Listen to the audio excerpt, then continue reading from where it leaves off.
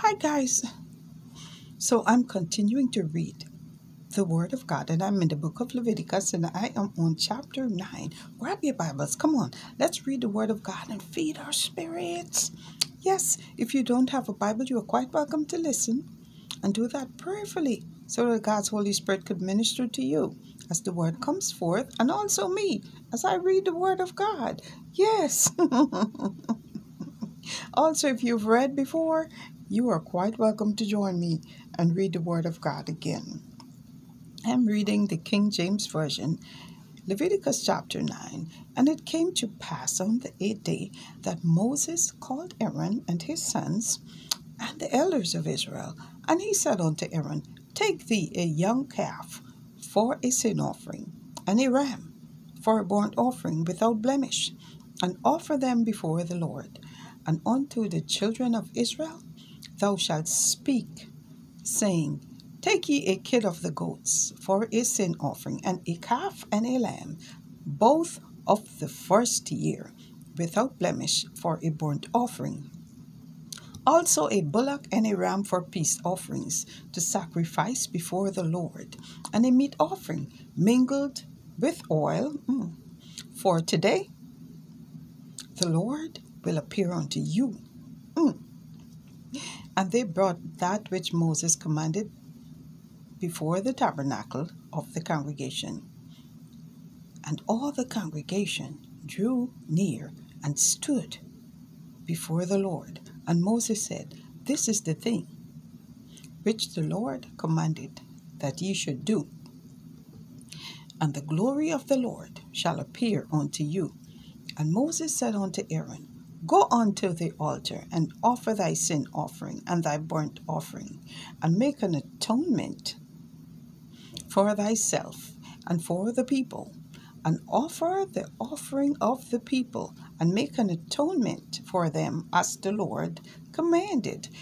Aaron therefore went unto the altar and slew the calf of the sin offering, which was for himself. And the sons of Aaron brought the blood unto him, and he dipped his finger in the blood, and put it upon the horns of the altar, and poured out the blood at the bottom of the altar. But the fat and the kidney and the caul above the liver of the sin offering he burnt upon the altar as the Lord commanded Moses. And the flesh and the hide he burnt with fire without the camp. And he slew the burnt offering, and Aaron's sons presented unto him the blood, which he sprinkled round about upon the altar. And they presented the burnt offering unto him, with the pieces thereof, and the head, and he burnt them upon the altar. And he did wash the inwards and the legs, and burnt them upon the burnt offering on the altar. And he brought the people's offering, and took the goat which was the sin offering for the people, and slew it, and offered it for sin as the first. Hmm. And he brought the burnt offering and offered it according to the manner. And he brought the meat offering and took an handful thereof and burnt it upon the altar, besides the burnt sacrifice of the morning. He slew also the bullock and the ram for a sacrifice of peace offerings which was for the people.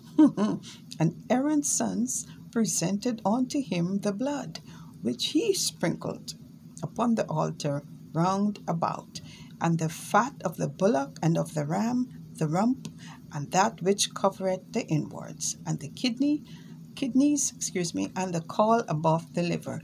And they put the fat upon the breast, and he burnt the fat upon the altar and the breast and the right shoulder Aaron waved for a wave offering before the Lord, as Moses commanded.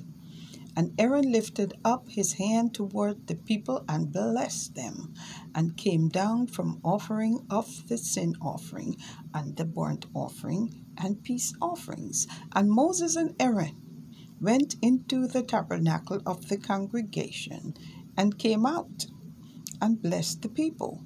And the glory of the Lord appeared unto all the people. And there came a fire out from before the Lord, and consumed upon the altar the burnt offering and the fat. Which when all the people saw, they shouted and fell on their faces. Mm. Thus ends the reading of Leviticus chapter 9. I am moving on because this continues. So join me again as I read Leviticus chapter 10. Thank you for reading with me. Stay blessed, everybody.